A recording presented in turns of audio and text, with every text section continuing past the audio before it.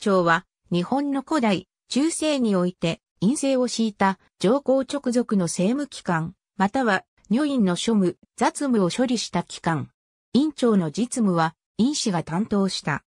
平安時代前期頃から上皇を院号で呼称することが見られるようになったが、院と呼ばれた上皇の庶務、雑務を取り仕切るために、上皇直属の官庁、とねり、増式などが当てがわれていた。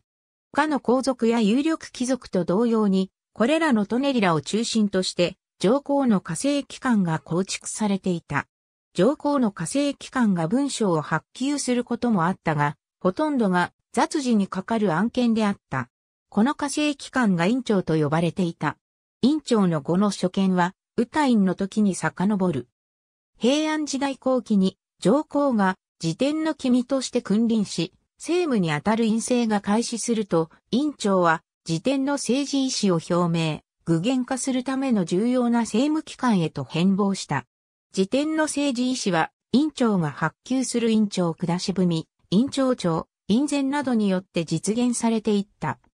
従来、大上官の左右弁官局、劇局が天皇の小直や大上官府を発給する数用機関として重要視されていたが、院政の開始後は、院長がそれらの機関にとって変わったのである。院長は当初上皇の火星機関のみを意味していたが、辞典の政務機関全般を意味するようになった。院長には院士が所属した。院士は実務能力が高く、受領の実績を積んだ中流貴族が任命されていた。これにより、石棺家を中心とする上流貴族の政治的影響力が低下することとなった。さらに、院士を含む中流貴族の中からは辞典の側近となって、牽制を振るう者も現れた。これを、院の謹慎という。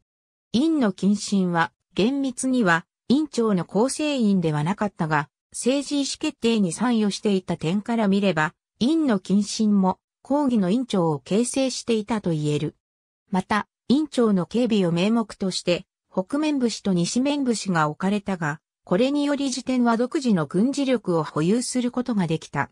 院長は、白河院後鳥羽院の院政最盛期を経て、室町時代前期に院政が実質を持たなくなるまで、朝廷の重要な政務機関として機能し続けた。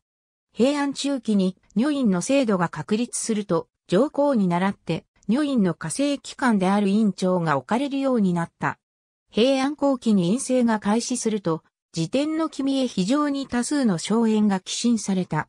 そして、辞典は女院へ膨大な荘園軍を相続させたが、実際にこれら荘園軍の運営管理に当たったのが、女院の院長である。